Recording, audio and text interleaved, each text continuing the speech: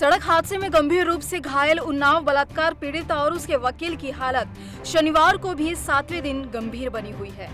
King George medical university के trauma centre के प्रभारी डॉक्टर संदीप तिवारी ने बताया कि पीड़िता अब भी वेंटिलेटर पर है। और उसे निमोनिया हो गया है, जिसकी वजह से उसे बुखार आ रहा है। उसे ब्लड प्रेशर नियमित करने की दवा भी दी जा रही है। पीड़िता के गले में छोटा सा छेद करके ट्यूब द्वारा ऑक्सीजन दिया जा रहा है। उसे अभी तक होश नहीं आया है और डॉक्टरों की टीम 24 घंटे उसकी निगरानी कर रही है।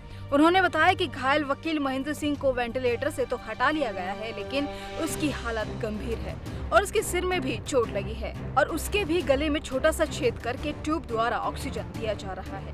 उन्होंने कहा कि जब भी कोई मरीज़ चार दिन से ज़्यादा वेंटिलेटर पर रहता है तो उसे ऑक्सीजन देने के लिए इस विधि का इस्तेमाल किया जाता है। इससे पर्याप्त ऑक्सीजन भी मरीज़ को मिलता रहता है और फेफड़ों आदि की भी सफ़ाई करने में आसानी होती है। News desk.